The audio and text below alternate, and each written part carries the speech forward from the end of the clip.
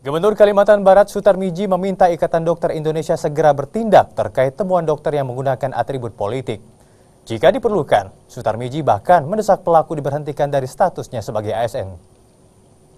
Tidak etis ya ini, ini saya tidak bicara masalah ya kaitan sedang operasi kok selfie seperti itu itu dari sisi uh, kode etik ID ya harusnya ngambil tindakan. Nah kalau ID nggak nggak ngambil tindakan, ID itu bubarin aja. Kita uh, solidaritas sesama profesi satu profesi bagus. Tapi kalau misalnya pasien, kalau keluar saya keluarga pasien saya akan tuntut mereka.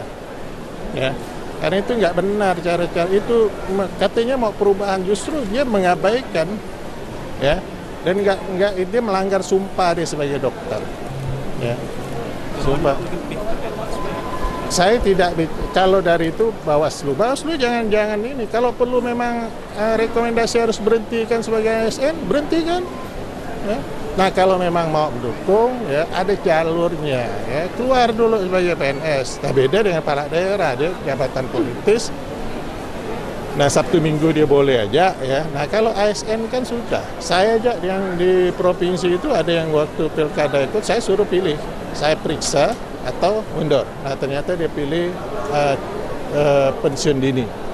Harus ditegakkan aturan. Kalau aturan berkata, apalagi kan mereka intelektual. Ya, saya minta tiga-tiga. Nah, bupatinya juga harus berani, tidak. Ya, jangan takut. Ya, saya kalau mereka hebat, mereka orang cerdas. Kalau saya jadi dia, saya berhenti jadi pegawai. Terima kasih banyak.